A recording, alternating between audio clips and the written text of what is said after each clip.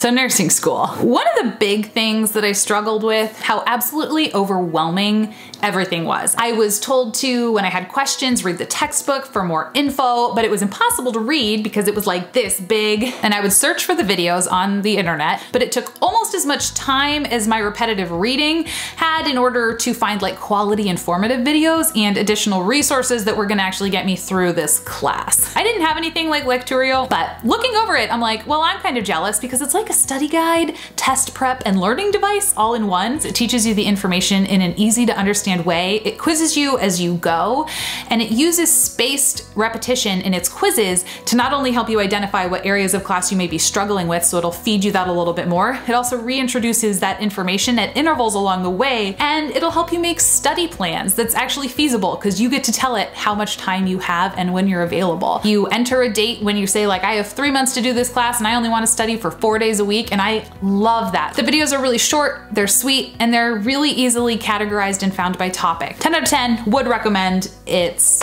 it's great.